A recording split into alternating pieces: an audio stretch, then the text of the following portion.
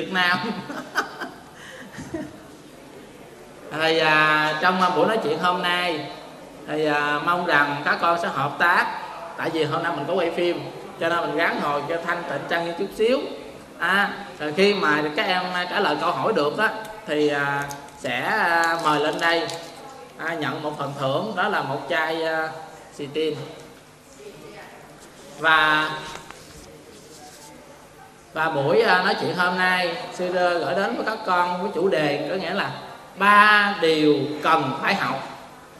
À sư nói một điều như vậy đó sư ngưng lại à, sư hỏi bạn nào trả lời được thì à, mời lên đây ha. Rồi à, thấy bạn nào mà nói chuyện nhiều quá lăn xăng quá sư mời lên. Mà không biết đó không nhớ đó thì đứng kế bên đây. Xong cái à, thời buổi nói chuyện đó, thì à, xử phạt bạn đó sao? thì à, tại sao mà nói có ba điều chúng ta cần phải học? Thường thường chúng ta học rất là nhiều điều. Học từ cha mẹ học từ thầy cô học từ bạn bè. Rất là nhiều người rồi mình đi chùa quý thầy quý sư cô cũng cho mình rất là nhiều điều hay ý đẹp để mình học.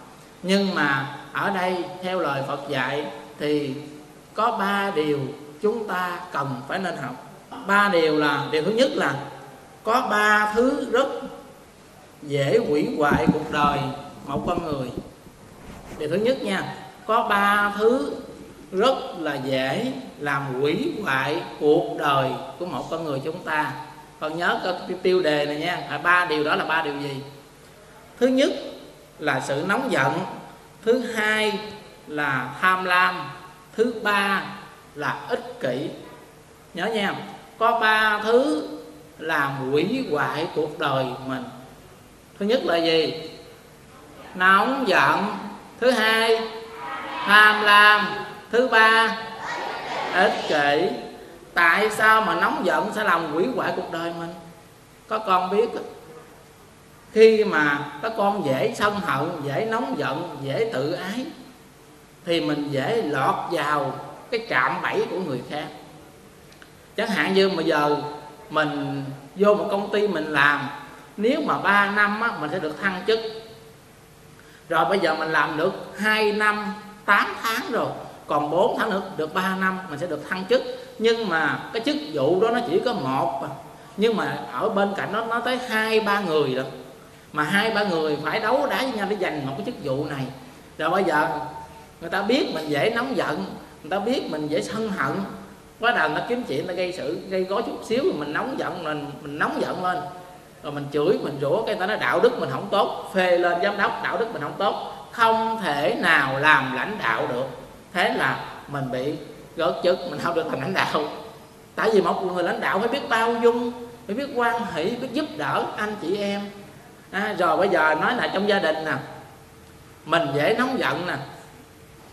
Chẳng hạn như cha mẹ có của chia tài sản. Mà nếu bây giờ á, gia đình ba người mà nếu bây giờ chia làm ba thì nó ít.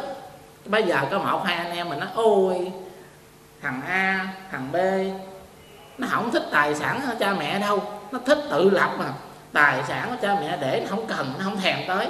Mình nghe nói cũng tự ái thôi tôi không cần của cha mẹ. Cái mình không có nhận thì mình mình lọt vào cái cái kế mua của người khác rồi chơi với bạn bè cũng vậy.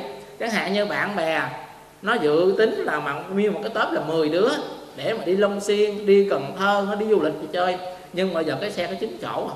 Bây giờ phải có một đứa ở nhà, hy sinh một đứa ở nhà mà giờ đứa nào cũng không chịu ở nhà, đứa nào cũng đòi đi. Nó biết trong 10 đứa này có một đứa hay giận, hay hờ hay ăn mát.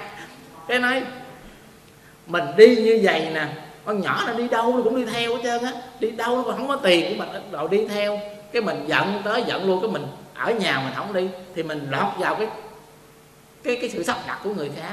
Vậy mình ngu, mình khôn. Cho nên con thấy là nóng giận, thế là dễ hủy hoại cuộc đời của mình. Ừ. Mình dễ lọt vào cái kế mua của người khác. Chẳng hạn như giờ có trái cam đi, hoặc có cái bánh đi. Chia ra làm ba. Ba đứa thì ăn không no. Bây giờ nó ô nhỏ, nó không ăn đâu. Con nhỏ nó không thích ăn cái này từ chỗ đó cái mình không ăn. Mình giận mình không ăn. Cái nó ăn no nó ngon. À, cho nên thứ nhất là sự nóng giận thứ hai là tham lam. Tham lam là cái người này lúc nào cũng dơ dép những tài sản những vật chất ở chung quanh của công hay là của tư gom về cho bản thân mình. Thứ nhất quyền lợi. Thứ hai tham lam nó có quyền lợi. Mình tham lam chức vụ tham lam quyền hành rồi mình tham lam tài sản. Đó. cái gì mà nó có lợi ích đó, mình đều gom về cho mình hết, gọi là tham lam. Thứ ba là ích kỷ. Bây giờ bạn nào định nghĩa được chữ ích kỷ? Ích kỷ là gì? Trả lời được, có phần thưởng. Ích kỷ là gì? Bạn nào định nghĩa được? Giơ tay lên.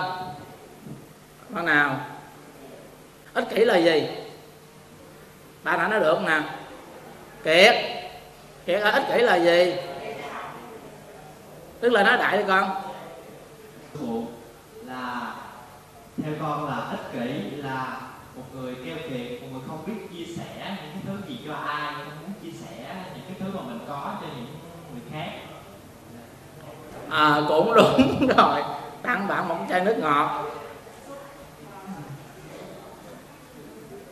Ích kỷ là những cái gì quyền lợi mình gom cho bản thân mình không biết chia sẻ cho những người xung quanh. Gọi là ích kỷ. Như vậy là điều thứ nhất. Vậy ba điều dễ làm hủy hoại cuộc đời của mình đó là ba điều gì? Hay nói được? Mắt kiến áo đỏ. Dạ vô con sư phụ. Người ta điều đó là tham lam nóng giận và ích kỷ. Rồi chúc mừng con. Rồi mà con lên rồi các con nghe tiếp cái điều. Ba điều thứ thứ hai. Có ba điều nó vô thường nhất, nhớ nha. Thứ nhất, đó là sự thành công. Thứ hai là tài sản. Thứ ba là cơ hội. Có ba điều vô thường nhất. Vô là vô thường là gì? Vô là không. Thường có nghĩa là thường còn vô thường có nghĩa là không thường còn, không ở yên một trạng thái. Mãi mãi. Chẳng hạn như nói tại sao là vô thường? Vô thường là nó không có ở yên một trạng thái. Chẳng hạn như bông hoa này, thì mình trưng hôm nay, nhưng mà tuần sau thì nó khô, nó héo, nó mất rồi, nó không có yên một trạng thái gọi là nó vô thường. Là không thường còn, không ở yên một trạng thái mãi mãi mà nó trải qua các giai đoạn như sau thứ nhất là thành trụ hoại và không. Chẳng hạn như cái bông hoa, cái dĩa hoa này, hồi sớm là nó nó nhiều cánh hoa lắm. Cái anh huệ pháp đó anh ấy mua một cục mốt rồi anh mua lá anh cắm lại nhiều cái bông hoa. Thành một cái dĩa hoa gọi là thành. Rồi cái dĩa hoa này mình để đây một ngày, hai ngày, gọi là trụ. Rồi cái ngày thứ tư bắt đầu nó héo, nó úa dần dần, nó khô lá dần dần gọi là hoại. Và cái cuối cùng mà đem dục cái điêu giữa qua trong sọt cát, gọi là thành trụ hoại không. Nó trở về cái không ban đầu. Con người mình cũng trải qua như thế. Trải qua bốn giai đoạn là sanh, trụ, dị và diệt. Có người mình trải qua bốn giai đoạn đó. Mình sanh ra, rồi mình trụ là thời gian mình sống ở thế gian này mình trụ. Rồi mình quại là mình già, mình mắt mờ, răng rụng, tai yếu rồi mình nằm một chỗ bệnh đau. Rồi cuối cùng mình chết đưa vô lò thiêu không còn cái gì hết. Gọi là thành trụ hoại không? Là vô thường là như thế. Vậy có ba điều vô thường nhất. Thứ nhất là đó là sự một là thành sự thành công. Cái thành công của mình nó cũng như cái diệu hoa nó cũng, cũng vô thường. Hôm nay nó có nhưng mà mai chưa chắc nó còn. Có những người con thấy là nhà lầu xe hơi nhưng mà vài năm sau họ bể nợ, họ bể hụi, họ bỏ xứ, họ đi nơi khác. Họ là tha phương cầu thực hay là chiếu đất màn trời trở thành một người vô gia cư. Cho nên, nhiều khi mình có có sự thành công, mình đừng không có ý lại. Mình không có ý lại vào cái sự tài sản của mình, cái sự thành công của mình. Thứ hai là tài sản. Tài sản thì nó cũng không có ở yên với mình cho nên các con thấy, hôm nay mình có tiền, mình ăn trên, mình ngồi trước, mình đi xe sang. Nhưng mà biết đâu qua năm sau, cha mẹ mình làm ăn thất bại, mình đi xe đạp, mình đi xe buýt, mình đi xe đò. Rồi hôm nay cha mẹ mình làm ăn phát tài, mình mặc đồ hiệu, mang dài hiệu, trong tủ mình vài chục đôi dài mình còn chơi ít. Trong tủ áo mình vài chục bộ đồ, mình còn chơi ít nhưng mai mốt cha mẹ mình làm ăn, nó không có còn thành công vậy nữa. Nó không còn giàu có vậy nữa. Thì mình sẽ mặc những bộ đồ mà của từ những người khác họ bỏ ra, họ dạt ra, những người khác. Chẳng hạn bây giờ các con thấy này chưa để cái bản nè. Nơi tiếp nhận quà cứu trợ lũ lụt miền trung là họ cho là cho cái gì? Họ cho những quần áo cũ không à? Nhưng bình thường những cái người miền trung đó, họ cũng giàu có. Họ cũng như các con vậy, cũng mặc đồ hiệu. Nhưng mà trải qua một cơn lũ lụt rồi đó, họ cuốn trôi đi mất hết đôi dép cũng không có mang. Cái cái nón cũng không có đội cái nồi nấu cơm cũng không còn. Thì từ chỗ đó thì phải nhận những cái đồ cũ của những người khác. Thì cho nên chúng ta phải biết chấp nhận với điều đó. Và thứ ba thứ ba là cơ hội. Cái cơ hội đó đến một lần. Cho nên người ta nói là phước bất trùng lai. Thì sao? Quả vô đơn chí. Cái phước nó không đến hai lần, mà cái quả nó đến rất là nhiều lần với mình. Kể cho nghe câu chuyện vui.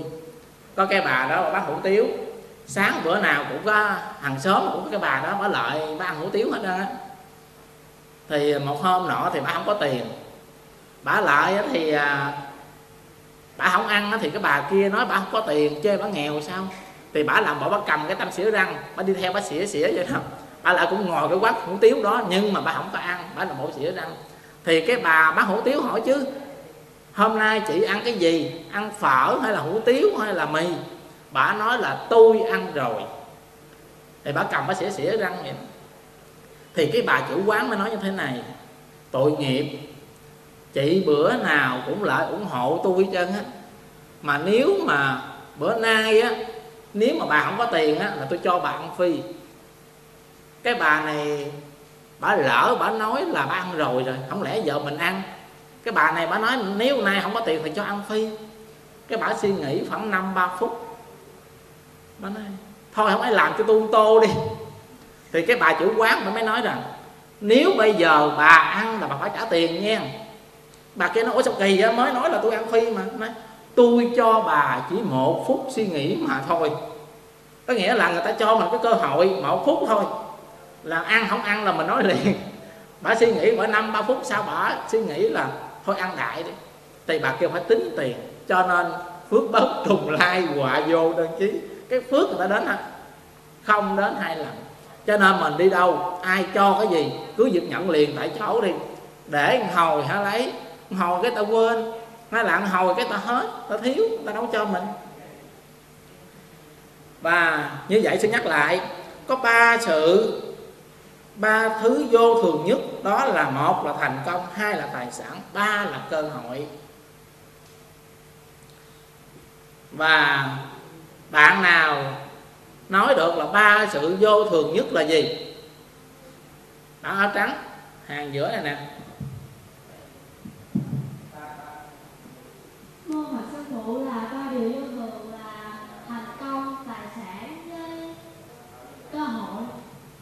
Mà tại sao ba điều đó, tại sao là gọi là vô thường? Tại sao ba điều đó là vô thường? Tại sao bạn nó nó là đại một cái thôi. Tại sao gọi nó là vô thường? Tại sao? Tại sao? Bạn nào bổ sung câu đó? Tại sao? Tại sao gọi là nó vô thường? Các bạn đừng nhắc, các bạn đừng nhắc. Tại sao? Bạn nào bổ sung ý kiến đó? Tại sao ba điều đó gọi nó là vô thường? Bạn nào? Phải hiểu. Bạn nào? Nói đại đi. À, mời bạn gái. Mô thưa thầy, ờ, theo con ờ, nó là vô thường vì nó có thể đến bất ngờ và nó cũng có thể ờ, biến mất. Ví dụ như thành công thì đến một giai đoạn nào đó con người ta sẽ đạt được thành công. Nhưng ờ, khi đến một cái ờ, lúc nào đó, cái sự thành công nó sẽ dần dần biến mất. Rồi, chúc mừng con. Lên lãnh chai nước ngọt chia làm hai, cho bạn góp bạn ly. Rồi. Rồi. Bạn đó nói đúng tại ba điều đó. Nó đến đi bất ngờ, nó không có ở yên một chỗ với mình. Nó đến với mình rồi nó đi. Nó dục đến, dục đi à, gọi là vô vô thường. Cho nên lúc đầu thì sư có định nghĩa cho con nghe rồi đó. Và điều kế tiếp là có ba thứ vô giá nhất mà ba thứ này không thể mua bằng tiền không thể mua bằng vàng được. Các con thấy ở đời là vàng bạc nó là vô giá nó quý báu. Nhưng mà Đức Phật nói có ba thứ nó vô giá nó quý hơn vàng có tiền cũng không bao giờ mua được. Vậy ba thứ đó là ba thứ gì? Các con nghe nha. Một là sức khỏe, hai là lương thiện, ba là tri thức. Có ba thứ không mua được, bằng tiền mà nó rất là quý báu. Một là sức khỏe. Tại sao nói là sức khỏe? Mình là quý báu trong khi nó tiền bạc, mình không quý. Các con biết. Khi mà mình nằm trên giường bệnh, mình nằm ở phòng cấp cứu thế một ông vua, ông giàu tột bực mà trước khi ông nằm ở trong phòng cấp cứu đó, ông muốn cái gì nhất? Muốn cái gì? Muốn sống, phải không? Muốn có sức khỏe để sống.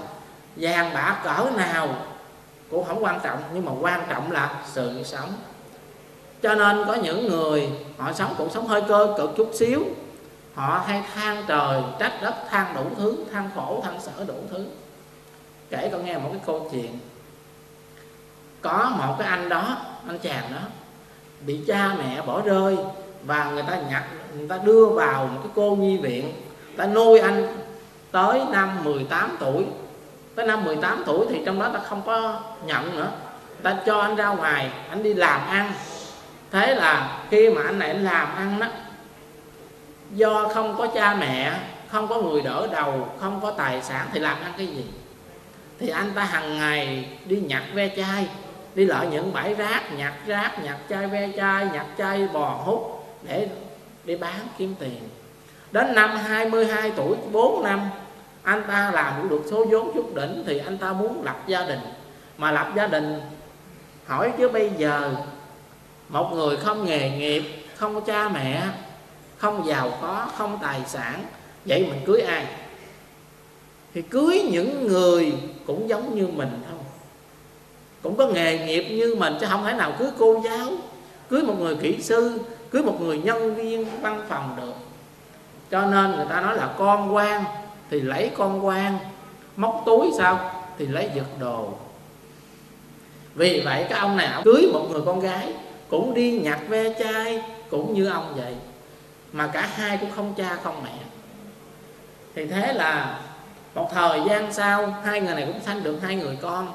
Do ông nghĩ cái đời sống hai vợ chồng quá khổ cực và quá nghèo khó, thì ông ta hy sinh đời bố để củng cố đời con. Có nghĩa là hết, dồn hết thời gian đi nhặt ve chai hai vợ chồng để nuôi hai đứa con ăn học thành tài, để sau này nó không còn nhặt ve chai nghèo khó như mình. Thế là trải qua gần 20 năm sau, thì hai đứa này nó cũng đậu vào các trường đại học, một đứa năm đại học thứ tư, một đứa năm đại học thứ hai. Thì lúc này bà vợ cũng yếu rồi, thì ở nhà chăm lo chỉ còn một mình ông, mà đi bơi chải để nuôi ba người, một người vợ bệnh ở nhà và hai đứa con học đại học. Thì một hôm nọ, ông ta đi ngang ngôi chùa, ông ta nói là quan âm bồ tát sông linh lắm, nghe ta lên linh lắm họ lại đây họ cầu, họ nguyện đủ thứ. Bây giờ ông đến đây ông cầu nguyện thế này. Thì thế là ông bước vô chùa, gặp một sư trụ trì. Thì ông ông nói là ông quán trách trời đất, tại sao ăn ở không công bằng? Ông sanh ra là không có cha mẹ, bỏ rơi rồi. Rồi để bỏ vô diện mồ côi, rồi bây giờ đi sống ngoài đời cũng là bán dê cho lụm dê chai bán hàng ngày. Rồi con cái giờ học đại học cho thành phố mà không có tiền, chăm lo, khổ quá, trời đất ở không công bằng à ông nghe nói là trong chùa phật, linh thiêng mà ông vô đây ông để ông cầu nguyện ông lại. Thì lúc đó sư trụ trì nó thôi chú ngồi nghỉ chút xíu đi cho khỏe đi rồi à, tôi nói chuyện sau. Thì lúc đó ông ngồi trên băng đá đó, chỗ tượng quan âm bồ tát ông ngồi khoảng một tiếng đồng hồ. Thì ông ngồi một chút xíu thì ông thấy một cái xe du lịch màu đen bước xuống là một ông tướng tá cao to, mặc đồ vest đen, mang cặp tóc đen, rất là sang trọng. Thì cái ông này, ông bước đến đài quan âm, thắp ba cây hương, xong ông quỳ xuống. Ông mới khấn, quán thế âm bồ tát ơi, con sao khổ quá. Con, bản thân con là giám đốc của một công ty mà hôm nay do trời mưa bão, hàng của con không kịp chở ra ngoài miền Bắc. Mà nếu mà trong 24 giờ tới mà do bão lũ đó, hàng của con không vận chuyển được tới ngoài là hàng này sẽ hư và người ta sẽ đóng kho hàng để người ta không tiếp nhận cái hàng này thì con sẽ bể nợ. Con sẽ dở nợ. Khi mà con bể nợ, dở nợ thì gia đình con, vợ con của con là sẽ đi ra đường hết. Không có chỗ ăn, không có chỗ ở. Thì ông ta cầu nguyện, ông ta nghĩ là ông ta khổ quá. Thế là ông ta đi khoảng 5 phút sau, có một cô gái tuổi chừng 30 cũng rất là đẹp, nhà cũng rất là giàu, chạy chiếc xe màu trắng sách bóp đầm đến khấn quan mà quán tham bồ tát ơi, trời cho con sự giàu có, trời cho con nhan sắc, nhưng mà trời vẫn phụ con. Có nghĩa là không cho con một người yêu để chung thủy với con. Có nghĩa là cô này cổ giàu có có nhan sắc, đẹp đẽ, nhưng mà người yêu thì phụ bạc cổ đi quen với người khác. Thì cổ cổ buồn khổ cổ đòi tính tự giận, cổ chết. Thì cổ cầu nguyện quan âm bồ tát như thế. Thế là cổ lên xe cổ đi. Chút xíu nữa, có một bà khoảng 60 tuổi đến cũng lại qua Bồ Tát ơi, nhà con con cái con rất là hiếu thảo với con, ai cũng hiếu thảo với con hết. Và nhà con cũng giàu có có nhà lầu, xe hơi đầy đủ nhưng mà con mang trong mình một căn bệnh ung thư. Mỗi khi mà đêm về có máy lạnh mà ngủ không được. Tại vì khi mà đau nhức á, có hơi lạnh là nó nhức càng nhức nhiều cho nên có máy lạnh mà không được hưởng còn thèm những ăn những món ăn cao sang mỹ vị ăn không được tại bác sĩ kêu là cử dầu mỡ bệnh ung thư không được ăn những thức ăn đó cho nên ăn rau luộc nước tương, ăn rau luộc nước tương. Thì bà than khổ quá, bà cầu nguyện quan bồ tát cho bà hết bệnh. Thế là bà về. Thì chút xíu, thầy chủ trì mới bước ra hỏi chứ giờ chú muốn gì? Thì ổng nói, thôi con không muốn gì nữa, trơn thầy ơi, con về. Ổng mới nói như thế này. Ổng nói, tuy ổng là nghèo thiệt, nhưng mà hai đứa con ổng học ở sài gòn học giỏi. Và tuy ổng nghèo thiệt, nhưng mà hai gia đình ổng rất là hạnh phúc và ổng không có bệnh đau gì hết. Còn những cái người nãy giờ ổng thấy ai cũng giàu có, nhưng một người thì bể nợ, một người thì bị chồng bỏ, một người thì mang căn bệnh ung thư. Ổng nghĩ lại, ổng là hạnh phúc nhất. Tại vì ổng không có bệnh đau, nghèo mà không có bệnh đau mà là quý nhất. Và điều thứ hai là lương thiện. Mình sống một đời sống lương thiện mình không trộm cắp, mình không móc túi, mình không giật đồ, mình không lường gạt ai.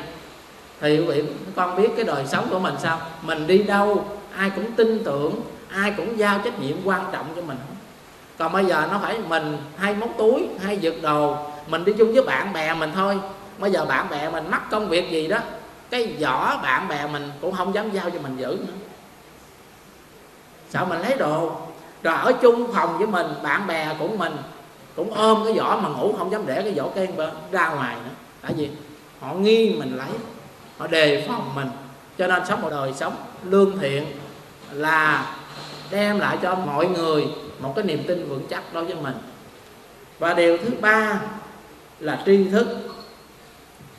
Tri thức thì nó sẽ đem lại cuộc sống an ổn cho bản thân mình là sự hiểu biết, tối thiểu nhất là mình cũng hiểu được cái đạo đức làm người.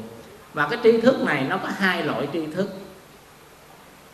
Thứ nhất là tri thức hiện bên ngoài.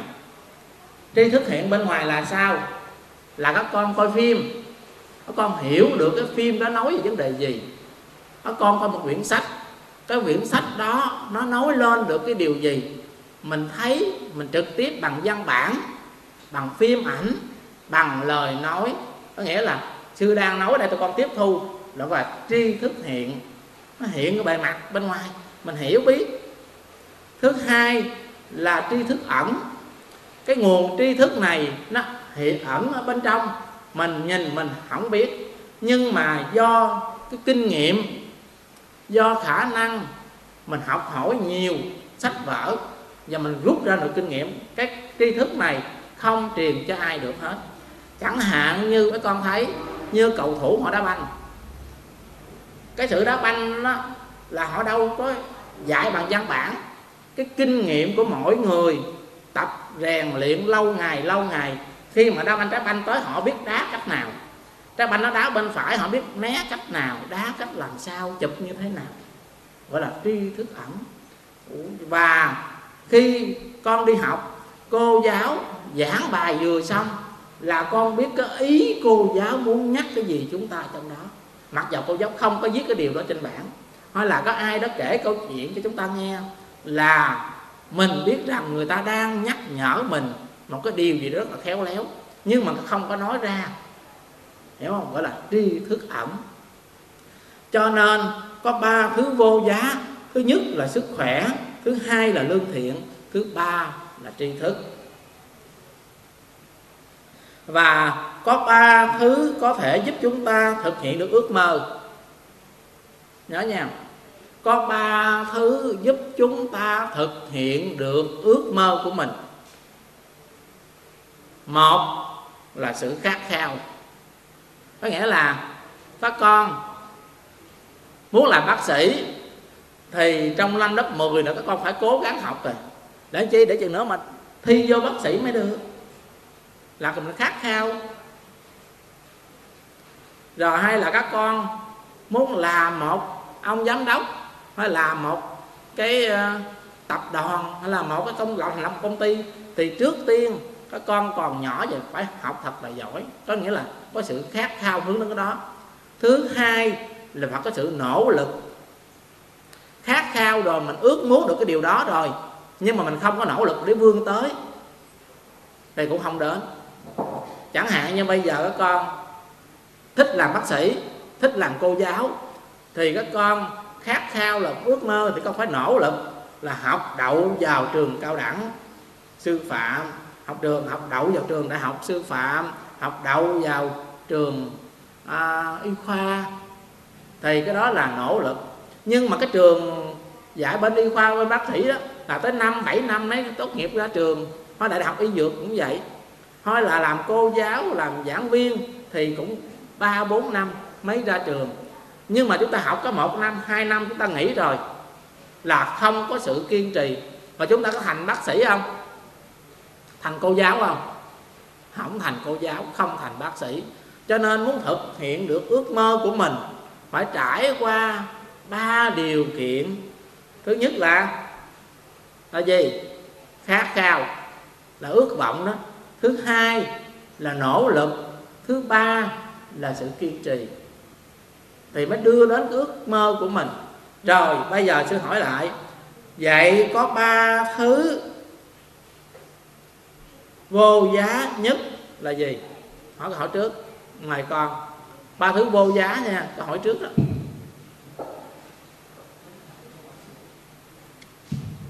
Phật sư phụ.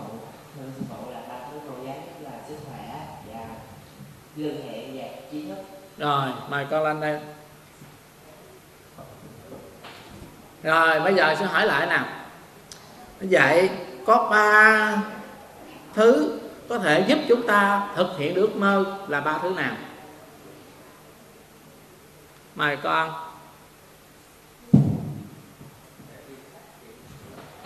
mô phật thưa sư phụ là khát khao nỗ lực kiên trì rồi mời con lên đây. Vậy ai nói được ba cái ý nghĩa khát khao nỗ lực kiên trì như thế nào? Bạn nào giải thích được? Hồi nãy giải thích rồi đó. Ai nói được điều đó? Dạ mô phần sư phụ, khát khao là phải có ước mơ, cái khát vọng đi tìm đến cái mục đích của mình ở phía cuối. Còn nỗ lực là khi mình tìm được cái cái vọng đó của mình thì cần phải cố gắng hơn nữa để đạt được cái mục đích. Còn kiên trì là trên cái quãng đường đó mình gặp nhiều khó khăn thì mình cũng phải vượt qua để tìm về cái thành công của mình. rồi, chúc mừng coi cho nào khó tay nè đó là rất là hay rồi, tặng bạn à, một phần quà rồi, có ba thứ có thể giúp chúng ta có thêm được bạn tốt có ba thứ có thể giúp chúng ta có thêm được bạn mới hoặc là bạn tốt. Chẳng hạn như hôm nay mình đi khóa tu này nè, từ đó giờ có bạn chưa đi lần nào, có bạn chưa quen biết ai trong đây, vậy làm sao mình được có thêm bạn mới, làm sao có thêm bạn tốt? Vậy có ba thứ có thể giúp chúng ta có thêm bạn mới. Một là cởi mở, hai là nhiệt tình, ba là chính trực. Tại sao nó là cởi mở? Các con biết nhiều khi mình muốn quen với người khác, nhưng mình không có mở cái lòng mình ra. Rồi làm sao mà ta quen được với mình? Vậy muốn cởi mở cái lòng mình ra để đón nhận thêm một bạn mới, thì thứ nhất chúng ta phải tìm cơ hội ngồi gần, tìm cơ hội làm quen, tìm cơ hội nói chuyện và tìm cơ hội để bắt chuyện. Chẳng hạn như mình hỏi bạn, hôm nay bạn ăn sáng chưa? Hay là bạn hỏi mình, cái mình nói chưa? Cái thôi, là đâu có bắt chuyện nữa được. Mình phải nói câu nào để cho cái người đó bắt được thêm câu thứ hai. Chẳng hạn như người ta nói ăn cơm chưa mình nói chưa, người ta đâu có nói được gì nữa đâu. Mình phải nói câu nào cho người ta có cơ hội nói thêm câu thứ hai. Vậy, tôi với anh uống cà phê nha. Rồi anh nói câu thứ hai làm sao tôi nói thêm được câu nữa? Nói câu gì? Nói câu nào? Mà bạn hận luôn.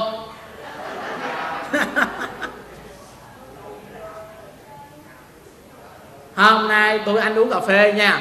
Rồi bạn nói câu nào để cho cái người đối diện của mình nói bắt được chuyện? Dạ mô phật sư phụ là con sẽ kêu là ông bao tôi tôi đi. Cũng được cũng được. À, cũng được. Các bạn à, áo xanh dưới. Bạn áo xanh áo xanh bạn áo xanh. Theo bạn bạn nói câu nào? Thưa sư phụ là ghi ông thiền thông là không có bao á. Ghi ai cũng bao nhưng mà ghi ông thiền thông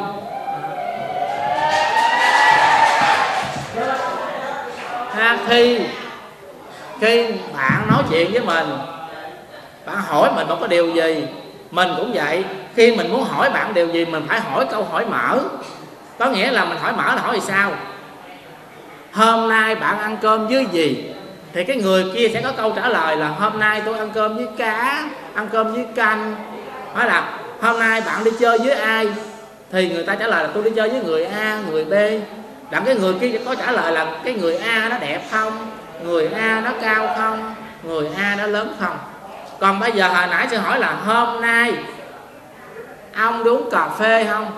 Thì bắt một cái câu hỏi thứ hai của mình hỏi lại cho người ta có đường đi á có đường nói chuyện với mình á. Uống ở quán nào? Ông thấy quán nào ngon? Thì người ta sẽ có được câu thứ hai là cái quán quán A, quán B, quán nằm quốc lộ 80, quán nằm ở số 10 có câu trả lời liền. Rồi mình hỏi tiếp, vậy cái quán đó là tên gì? Hiểu không? Có nghĩa là mình cởi mở lòng ra. Thứ nhất là cởi mở mình nói câu khi mình hỏi bạn hỏi câu hỏi nào để cho người ta có cơ hội để trả lời. Và khi người ta hỏi mình mình phải có cơ hội để nắm bắt được câu trả lời đó và tiếp tục cái cuộc trò chuyện đó. Bây giờ hỏi mình đi chơi không? Không. Là đâu có nói chuyện nữa được là nghỉ luôn rồi. Tại mình nói không cái là tiêu rồi. Rồi hỏi mình chứ ăn cơm chưa? Chưa. Cái rồi thôi tiêu luôn. Người ta muốn bắt chuyện với mình cũng không bắt được nữa. Tại mình không có cởi mở cái lòng mình ra. Thứ hai là nhiệt tình. Nhiệt tình là sao? Thấy bạn thuận là nhiệt tình không? Nhiệt tình có nghĩa là mình vô chùa, mình thấy sân dơ, mình làm. Thấy ai rửa chén, mình nhảy vô mình phụ. Thấy những bạn khác làm gì, mình tích cực, mình vô mình làm, gọi là nhiệt tình. Giúp đỡ bạn bè, bất cứ người đó là ai. Gọi là nhiệt nhiệt tình thứ ba là chính trực. Vậy bạn nào định nghĩa được từ chính trực là gì? Ai nói được? Chính trực. Người ta nói quang minh lỗi lạc hay là quang minh chính trực á, vậy từ chính trực nó là gì? Bạn này trả lời được. Các bạn nó lớn nè. Nó theo ý của mình. Con hiểu sao nói vậy. Để mình biết, để mình à, học luôn. Sao mất mình biết? Người ta nói ủa thằng này quân tử quá thằng này quang minh lỗi lạc thằng này chính trực quá công bằng chính trực gì đó. Vậy chính trực nó là cái gì? Mà bạn ngọc anh à, chính trực là gì? Theo con chính trực là gì? Dạ mô bậc sư phụ theo con nghĩ chính trực là là những điều à, lẽ phải không trái với đạo lý và lương tâm. À đúng. Chính trực mình thấy ý mình chính trực là mình công tư mình liêm chính mà tung theo một lối sống đạo đức cao nhất. Mời con lên đây cho phần quà. Vậy bạn nào nói được có ba thứ có thể giúp chúng ta có thêm bạn tốt? Ba thứ nào? Mà bạn áo đỏ bên có cái kèm cửa ở đây. Dạ mô phật sư phụ có ba điều tăng thêm bạn mới dạ cởi mở tính trực về dạ, nhiệt tình à rồi cảm ơn con. Mời con. Tới đây cho tặng uh, phần quà. Đó là cởi mở nhiệt tình và chính trực. Ở con nghe tiếp câu uh, kế tiếp nào. Có ba thứ mà chúng ta là một con người chúng ta cần phải hoàn thiện. Có ba thứ cần phải hoàn thiện. Một đó là kỹ năng. Hai đó là tư duy ba là thái độ. Nhớ nha, có ba thứ cần phải hoàn thiện. Một là kỹ năng, hai là tư duy, ba là thái độ. Vậy cái kỹ năng tại sao bắt buộc mình phải có? Kỹ năng nó gồm có kỹ năng gì nè? Bạn nào biết được nè? Nói về kỹ năng, bạn nào biết được những cái kỹ năng? Có rất là nhiều kỹ năng. Chẳng hạn như kỹ năng học tập, nó là kỹ năng rèn luyện và bạn nào à, nói được cho một những kỹ năng coi. Mời bạn gái. Vậy bạn cho biết kỹ năng là gì? Dạ mô phật sư là kỹ năng giao tiếp. À, kỹ năng giao tiếp. Rồi còn kỹ năng nào nữa không? Dạ thuyết trình. À, kỹ năng thuyết trình. Còn kỹ năng nào nữa không? Rất là nhiều cái kỹ năng. À, làm việc nhóm. À, rồi kỹ năng nào nữa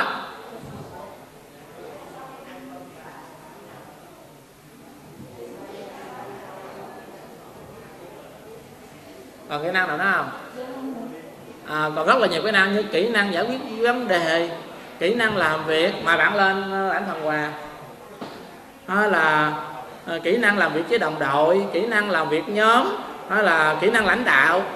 Nó rất là nhiều kỹ năng. Thứ hai là tư duy. Giờ sư nói tư duy sư hỏi cái ý nghĩa của tư duy. Cái tư duy nó gồm có là ghi nhớ thứ hai là hiểu biết thứ ba là ứng dụng thứ tư là phân tích, thứ năm là đánh giá, thứ sáu là sáng tạo. Cũng như là cái tư duy của mình á, nó ghi nhớ, hiểu biết, ứng dụng, phân tích, đánh giá và sáng tạo. Vậy bạn nào cho một thí dụ về tư duy? Bạn nào à, cho một cái ví dụ về cái tư duy của mình mà nó gồm đủ, trong đó nó có gồm có ghi nhớ, hiểu biết, ứng dụng, phân tích, đánh giá và sáng tạo? Mình nói làm sao cho người ta hiểu được cái đó là tư duy của mình. Và cái tư duy nó như thế nào? Bây giờ sư thí dụ, bây giờ thí dụ trước một cái nè. Chẳng hạn như bây giờ, mình nói là, nhân ơi, chiều nay tao với mày đi đá banh. Rồi bắt đầu, cái đứa bạn mới hỏi đá banh ở đâu? Đá banh ở ngoài vĩnh trinh, cái sân banh đó nó rộng không, nó lớn không? Và đá banh đó, trong cái đội banh đối đối phương của mình á, là bao nhiêu người, cái người đó to, cao, ốm, như thế nào? Và đá cách ra làm sao?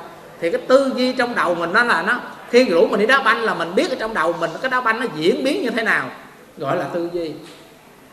Nó vậy bạn nào nói được một cái tư duy của chính bản thân mình? Ba bạn. Dạ nam mô bổn sư thích ca mâu ni phật. Ờ, à, bạch thầy con xin trả lời câu hỏi của thầy là nếu mà theo tư duy của con giống như là tụi con chơi trong một cái ván game mà tụi con thường chơi trong tỉnh xá là ma sói thì tụi con phải như thế nào làm cách nào đó tụi con phải ghi nhớ được cái chức năng của từng lá bài và sau đó thì tụi con phải phân tích hoặc là thuyết trình như thế nào để tất cả mọi người đó là tin con là một người lương thiện mà không phải là con sói để giết tụi con. À đúng. rồi, mời bạn lên đánh quà thứ hai là thái độ. Vậy bạn nào nói được, định nghĩa được cái thái độ, thái, nói lên cho ta hiểu được cái thái độ như thế nào. Thì thái độ là gì? Bạn nào nói được, thái độ. Tại vì nó có ba thứ cần phải hoàn thiện. Thứ nhất là là kỹ năng, thứ hai là tư duy thứ ba là thái độ. Vậy thái độ là như thế nào? Thường thường mà nói là, mày đừng tỏ thái độ với tao nha. Lại vậy cái thái độ đó là cái gì? Hả? Bạn nào nói được nè. Vậy cái thái độ đó là cái gì? Mời bạn. Phật sư phụ sư phụ thái độ là mình giao tiếp với người khác như thế nào? Thái độ của mình đối với người khác là nóng giận hay là cái gì đó là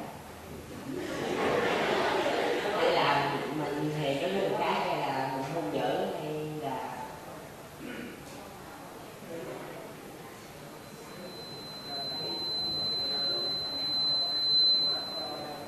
rồi bây giờ sẽ hỏi nè cái thái độ là mình hiền với người khác á gọi là thái độ gì biết không?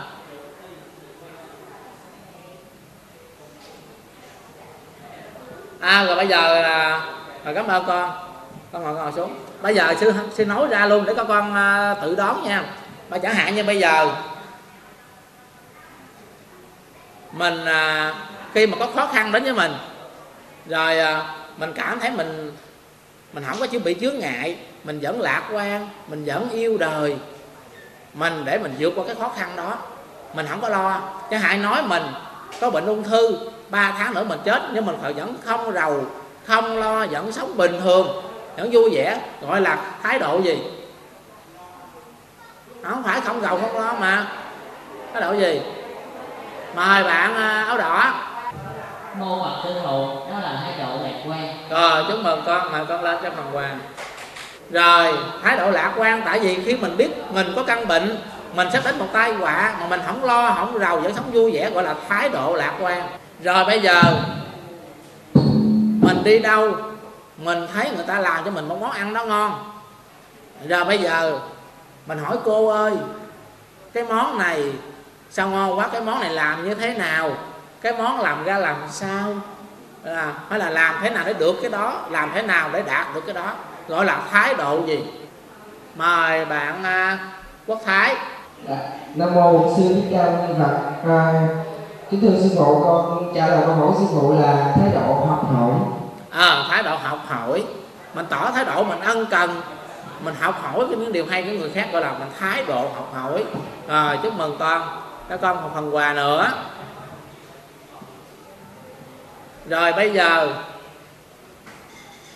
khi ai đó cho mình một món quà khi ai đó trao tặng mình một cái vật gì đó hay là ai đó truyền trao cho mình một kinh nghiệm một cái sự nghề nghiệp nào đó mình mình à, mình tỏ thái độ như thế nào? Mời bạn à, đồ lam đây dạ mô phật sư phụ là thái độ biết ơn. À, thái độ biết ơn mình biết ơn ngài con lên cho phần, phần quà. Khi mà con biết mình có rất là nhiều thái độ khi ai đó làm cho mình không vừa lòng thì mình cùng mang mình trợn mắt mặt mình đỏ ngầu lên gọi là thái độ hằng học thái độ hung dữ. Nhưng mà có ai đó giúp đỡ mình tạo điều kiện cho mình làm ăn mình đạt được những mục đích của mình gọi là thái độ biết ơn. Mà tại sao chúng ta phải biết ơn? Kể cho con nghe câu chuyện như thế này. Có một ờ, vị hòa thượng đó dẫn một chú tiểu đi ngang một khu rừng. Và chú tiểu khát nước quá. Chú tiểu nói là, sư phụ ơi, con khát nước quá. Mà bây giờ giữa rừng không có nước. Rồi thế là sư phụ đi một đoạn nữa, gặp một dòng suối. Và sư phụ dẫn chú tiểu xuống dòng suối đó, dùng cái tay hóp nước lên để mà uống. Khi uống xong ông sư phụ, ông mới lui ra vài bước. Ông cúi đầu, ông nói, cảm ơn dòng suối.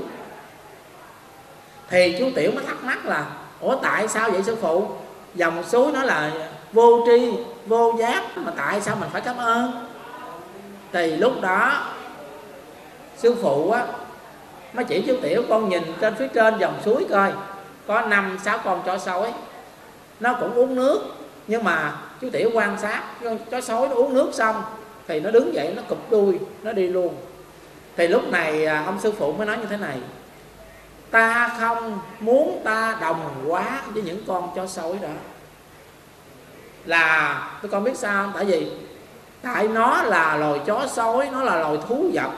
Cho nên khi nó uống nước, khi ai cho nó cái gì, nó nhận được một cái thức ăn gì từ một người khác, từ một thiên nhiên nào đó thì nó không có biết ơn. Tại nó là thú vật còn bản thân mình, một con người, khi ai trao cho mình một cái điều gì đó, khi ai làm cho mình một cái việc gì đó lợi ích, thì mình phải biết cúi đầu cảm ơn. Cho nên à, vị sư phụ nói là ta không muốn ta đồng quá với những con chó sói đó. Tại vì chó sói nó không biết cảm ơn người ta thì biết cảm ơn. Cho nên, khi ai giúp đỡ một điều gì đó, chúng ta phải tỏ một thái độ, gọi là thái độ biết biết ơn và cuối cùng có ba thứ giúp chúng ta luôn vui vẻ hạnh phúc. Đó là một là tình yêu thương. À, đó là tình yêu thương. Thì mình có yêu thương mình mới sống lâu mình có yêu thương mình mới đồng cảm với tất cả mọi người mới có một cái cái cơ hội để mình giao tiếp với mọi người nhiều hơn và thấu hiểu được cái nỗi lòng cái tâm tư nguyện vọng của người khác và hai là sự cho đi. Có nghĩa là thường thường á, người ta nói cho đi là mất. Nhưng mà với một cái người biết đạo đó, mình cho là còn hoài, không có mất. Chẳng hạn cho con biết nè, khi các con có 5 ngàn đồng, các con mua cái ly nước con uống trong vòng 5 phút sau lại nước đó mất tiêu. Con qua ngày sau con quên ly nước đó rồi. Nhưng mà con cho bạn một cái viết thôi, bạn học đi học không có viết con cho một cái viết có 5 ngàn, một quyển tập hoặc là có 5 ngàn. Nhưng mà quyển tập đó bạn viết tới hai, ba tháng. Khi nhìn quyển tập đó là bạn đó nhớ ơn mình. Và khi mình thấy bạn cầm quyển tập đó, bạn đó viết, thì mình biết quyển tập đó có mình. Bạn vẫn trân trọng quyển tập của mình. Mình cảm thấy vui vẻ. Mặc dầu cái viết đó 5 ngàn, quyển tập 5 ngàn, nhưng mà mình cảm thấy ấm áp. Thứ ba là biết đầy đủ tới con Phật dạy, nếu chúng ta mà không biết đủ đó, chúng ta nằm ở trên niệm gấm, chăn im, có nhà lầu, xe hơi, chúng ta vẫn đau khổ như thường. Mà nếu chúng ta nằm, chúng ta biết đủ đó, dầu chúng ta nằm dưới đất, ở dưới gạch, chúng ta cũng cảm thấy vui. Hiểu không? Như vậy trong chúng ta ở đây, có ai biết đủ chưa? Mình đang biết đủ chưa? Chưa à. Cho nên, mình không biết đủ cho mình mình mới buồn, mình mới khổ. Cho nên đức phật dạy là dạng pháp tùy duyên, bất cầu thì bất khổ. Tất cả các pháp đến thì do duyên sanh hết. Nó đến thì mình trân trọng, nó đi thì mình không buồn. Thì tất cả đều do là duyên. Cho nên mình mình không có cầu nó mà nếu mình mình khổ là do do đâu do mình cầu? Chẳng hạn như tôi muốn được cái đó, nhưng mà không được, cuối cùng không được, thì mình mình buồn. Tôi muốn thi đại học đậu, nhưng mà thi đại học rớt buồn.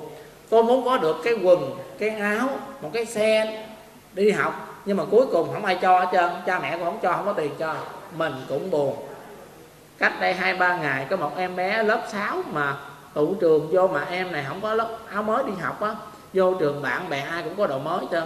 Cái bạn bé này nè, là nó mặc đồ cũ cái bạn khác chọc ghẹo nó cái gì đó, uống sâu tự dẫn chết queo.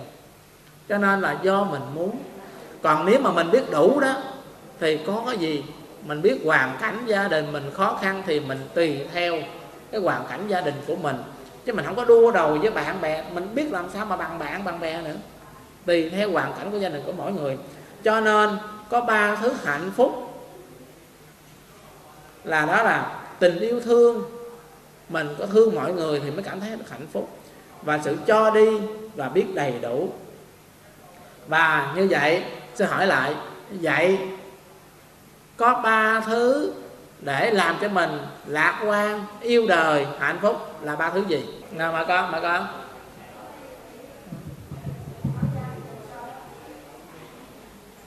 Dạ mô Phật, thưa sư phụ, con xin trả lời là sự cho đi đầy đủ. Dạ tình yêu thương hãy cho đi vào sẽ biết đủ. À, tình yêu thương rồi mọi con. Hôm nay cho uh, chai nước ngọt. Rồi bây giờ sư nói lại các cái tiêu đề mà nãy giờ sư nói bạn nào nó đã được thì bạn nó được phần thưởng. Nó lỡ tiêu đề thôi. Có ba thứ cần phải học. Nó vậy bạn nào nói được một trong những cái tiêu đề nãy giờ. Mà, bạn mắc kiến nói cái nào cũng được hết á nó lộn xộn cũng được. Cái ba thứ cần học là ba thứ nào?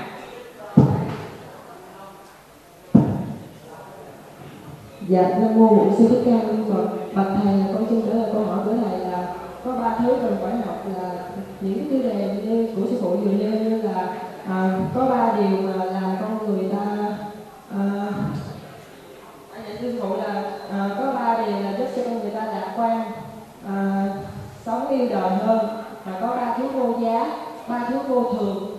Và ờ, con hết nhớ rồi. À, cũng được nó cũng được nữa nhớ được ba bốn cái cũng được cũng tốt rồi năm đây cho cái phần vàng các bạn nào nói được những cái khác. Bạn nào nói được những cái khác cái cái cái bạn này chưa nói.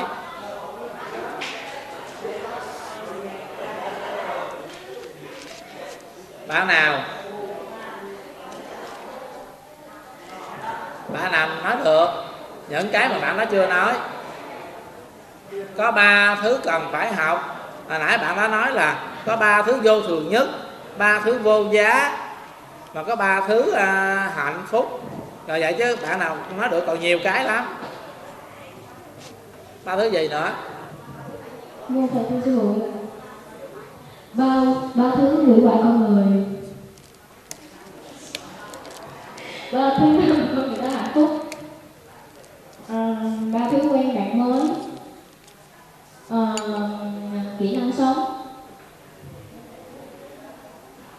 Hết trơn à?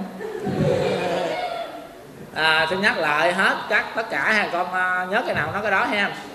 Có ba có ba thứ rất dễ hủy hoại cuộc đời con người đó chính là sự nóng giận sự tham lam và ích kỷ. Có ba thứ vô thường nhất đó chính là thành công thứ hai là tài sản thứ ba là cơ hội. Có ba thứ vô giá nhất đó là sức khỏe lương thiện và tri thức có ba thứ giúp chúng ta thực hiện được ước mơ đó chính là sự khát khao sự nỗ lực và sự kiên trì. Có ba thứ có thể giúp chúng ta có thêm bạn tốt đó là cởi mở nhiệt tình và chính trực. Có ba thứ chúng ta cần phải hoàn thiện đó là kỹ năng tư duy và thái độ. À, có ba thứ giúp chúng ta luôn vui vẻ hạnh phúc đó là tình yêu thương sự cho đi và biết đầy đủ. Rồi bạn nào nói lại được nè? Dạ mô hòa sư phụ là ba thứ hủy hoại con người ba thứ vô thường. À, ba thứ làm cho con người ta hạnh phúc và ba thứ tạo nên mối quan hệ mới. À cảm ơn con. Rồi. Mời tặng phần quà cho bạn. Rồi bây giờ à, cái bài nói chuyện đã hết rồi nhưng mà sư đố thêm một câu ngoài. Đó các con chứ. Có một à, anh A. À, gọi là bạn An đi bạn An là dẫn ba thằng điếc đi ăn hủ tiếu, mà giá hủ tiếu là 10.000 một tô. Hỏi, trong cái nhóm người đó, ăn xong phải trả bao nhiêu tiền? Mời à, bạn kiệt. Kiệt, đúng là nói coi nó chuyện nhiều quá.